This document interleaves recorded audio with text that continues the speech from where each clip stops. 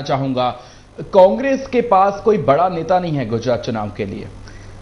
देखिए, मैं आपकी इस बात से कतई भी इत्तेफाक नहीं रखता कि कांग्रेस के पास कोई बड़ा नेता नहीं है।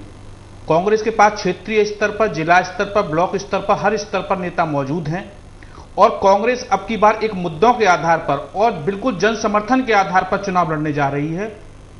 हालाँकि जैसा कि मेरे बड़े भाई पत्रकार वर्मा साहब ने कहा मैं इस बात से कतई इत्तेफाक नहीं रखता कि हमारे पास कोई नेता नहीं है। हमारे पास अर्जुन मोडवाडिया हैं, वहाँ पर शक्ति सिंह गोहिल जी हमारे विपक्ष के नेता हैं, हमारे पास शंकर सिंह बघेला जैसे क्षेत्रीय नेता हैं। साथ ही साथ हमारा पूरा कांग्रेस का नेतृत्व आज गुजरात के अंदर पूरी तरह से चुनावी बिगुल बजा चुका है और चुनावी तैयारियाँ हमारी पिछले तीन वर्षों से निरंतर जारी हैं।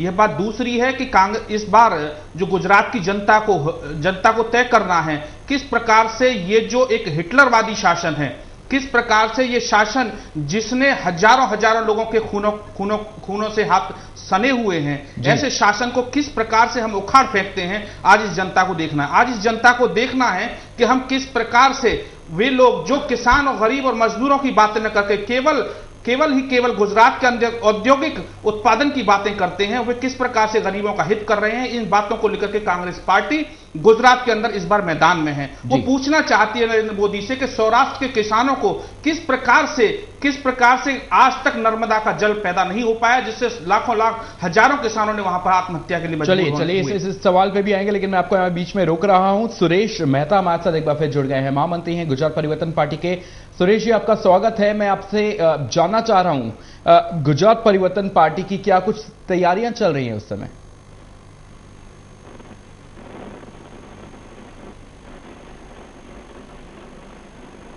सुरेश जी, आवाज़ सुन पा रहे मेरी?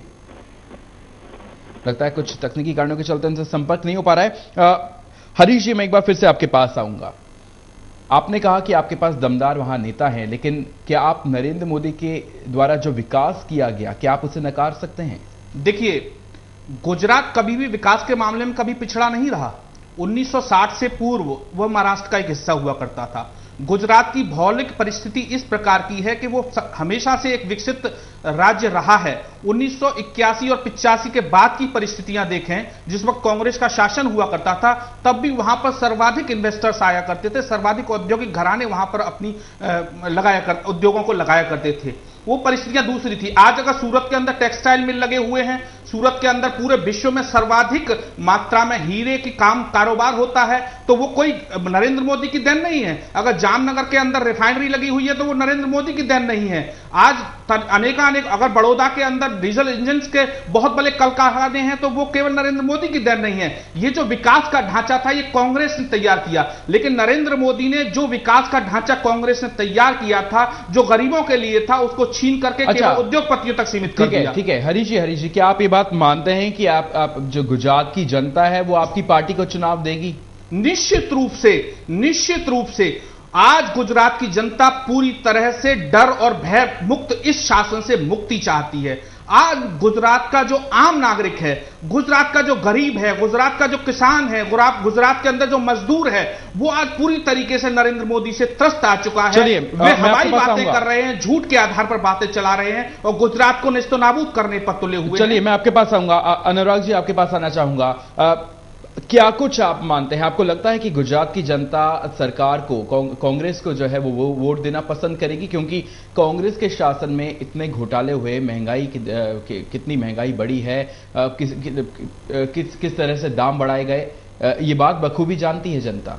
देखिए दो तरीके से इस चीज़ को देखने वाला है कि जहाँ जो प्रोग्रेसिव स्टेट्स होते हैं वहाँ पे थोड़ा सा प्रोग्रेस ओरिएंटेड जो है लोगों का माइंडसेट होता है जैसे कि गुजरात है। हम कुछ स्टेट्स को हटा दें जहाँ पे डिफरेंट टाइप से जो है वोट्स मोबिलाइज होते हैं। गुजरात जो है पर्टिकुलरली जो स्टेट है वो पंजाब हरियाणा गुजरात इस टाइप की जो स्टेट्स हैं वो प्रोग्रेस पसंद है। जहाँ पर अगर तरक्की हो रही है तो उधर जाते हैं। स्पेशली अगर आज के आप सिनेरियो में देखें तो जो सेंटर का, जो मेरा अपना एनालिसिस है सेंटर में जो घोटाले हुए हैं जो तरह तरह के स्कैम्स पिछले दिनों आए, ये वोटर को कहीं ना कहीं इन्फ्लुएंस ज़रूर करेंगे। और दूसरी तरीके से, अगर जैसा कि बात कही जा रही है ये भी बात चल रही है कि मोदी के शासन में भी काफ़ी सारे जो है प्रॉब्लम्स हैं तो उसको अभी तक कांग्रेस के किसी भी नेता ने, जनता को लेके उस तरह से नहीं किया, जिस तरह से वोटर को एक तरह से कांग्रेस में वोट डालने के लिए उसको प्रेरित किया जा सके या मजबूर किया जा सके उस तरह से अभी तक वहाँ पे वोटर को मोबिलाइज किया नहीं गया है जो अभी तक देखने में आ रहा है। जी। हरीश जी आपके पास आना चाहूँगा। आ, सोनिया गांधी ने साफ़ तौर से बात कही है कि नरेंद्र मोदी के समय में कोई विकास नहीं हुआ। जितना भी विकास हुआ हमारे समय में हुआ। आप, आपको लगता है जनता इस बात पर विश्वास करेगी उनकी? निश्चित तौर पर।